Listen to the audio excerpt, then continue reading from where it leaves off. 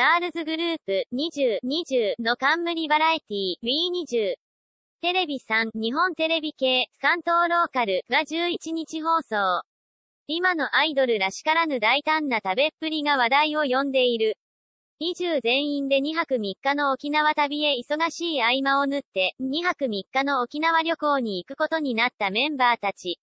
その日ごとにチームに分かれて、バギーに乗ったりショッピングに出かけたりと、沖縄観光を満喫した。マヤとリマとニーナの3人は、念願の沖縄早期そばを食べに。最初は中サイズを3つ頼もうとしたものの、あなた大じゃなくていいの、とマヤに言われたリマは大を注文した。今、沖縄そばを笑顔で爆食。その後運ばれてきたそばは、大が明らかに大きなサイズのもの。今本人も、麺の量がすごいよ、というほどのボリュームだったが、うん美味しい、とものすごい量を丸めるようにして口に入れた。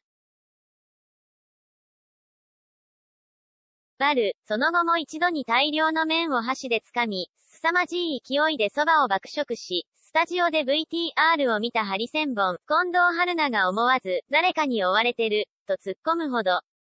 その後たった6口で、中サイズを食べているマヤとニーナよりも圧倒的に早く食べ終えたリマ。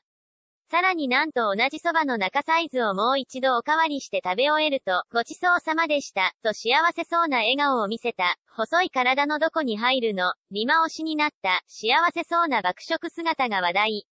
ネットではリマの爆食ぶりが話題に。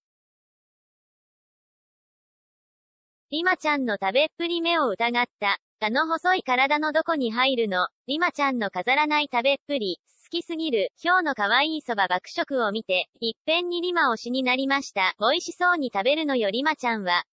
見てるだけでお腹いっぱいなった、と、スリムなスタイルながら幸せそうにそばを頬張るリマの無邪気な姿に心をつかまれた視聴者からの反響が書き込まれた。